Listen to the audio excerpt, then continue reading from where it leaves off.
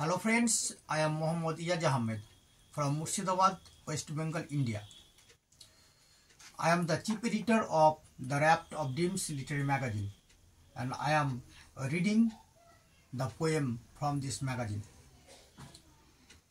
The name of the poem Helpless Palestine written by me. Winter has come with a blanket of fog. The sun has risen in the eastern horizon.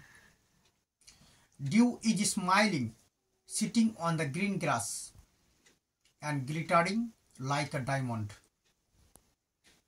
The houses, fields, trees, birds, workers are doing sunbathing.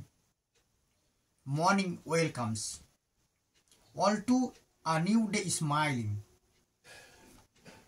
With gay, all are overwhelmed. I am walking on a grassy field.